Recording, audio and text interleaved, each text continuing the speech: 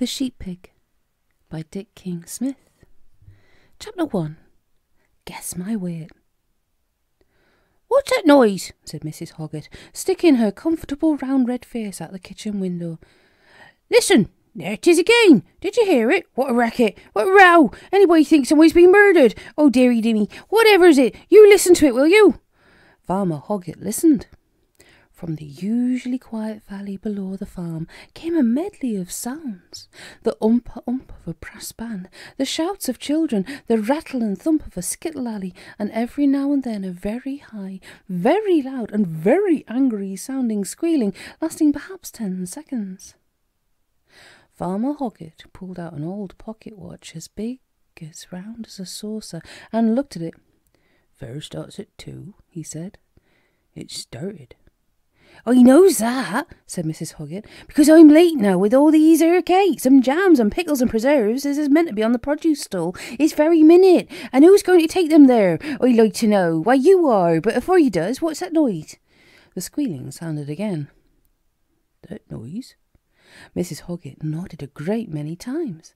Everything she did was done at great length, whether it was speaking or simply nodding her head. Farmer Hogget, on the other hand, never wasted his energy on his words.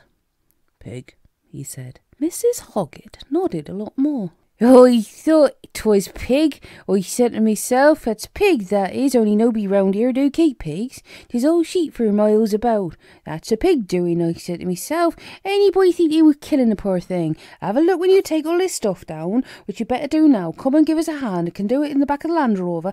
Tisn't raining, won't hurt. Wipe your boots before he comes in. Yeah, said Farmer Hogget. When he'd driven down to the village and made his delivery to the produce stall, Farmer Hogget walked across the green, past the hoopla stall and the coconut shy and the Aunt Sally and the skittles and the band to the source of the squealing noise, which came every now and again from a small pen of hurdles in a far corner, against the churchyard wall. By the pen sat the vicar, notebook in hand, a cardboard box on the table in front of him. On the hurdles hung a notice Guess my weight, tenpence a go. Inside was a little pig. As Farmer Hogget watched, a man leaned over and picked it out of the pen. He hefted it in both hands, frowning and pursing his lips in a considering way, while all the time the piglet struggled madly and yelled blue murder. The moment it was put down, it quietened. Its eyes, bright, intelligent eyes, met the farmer's, and they regarded one another. One saw a tall, thin, brown faced man with very long legs, and the other saw a small, fat, pinky white animal with very short ones. Oh, come along, Mr. Hogget, said the vicar. You never know. It could be yours for ten pence. Guess his weight correctly, and at the end of the day you could be taking him home. Don't keep pigs, said Farmer Hogget. He stretched out a long arm and scratched its back. Gently he picked it up and held it before his face. It stayed quite still and made no sound. That's funny, said the vicar. Every time so far that someone has picked him up, he's screamed his head off.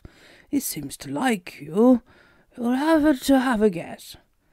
Carefully, Farmer Hogget put the piglet back in the pen. Carefully, he took a tenpence piece from his pocket and dropped it in the cardboard box. Carefully he ran one finger down the list of guesses already in the vicar's notebook.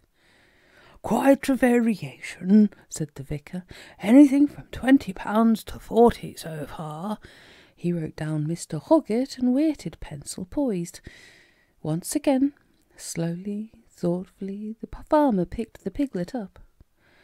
Once again it remained still and silent. Thirty-one pounds, said Farmer Hogget. He put the little pig down again. And a quarter, he said.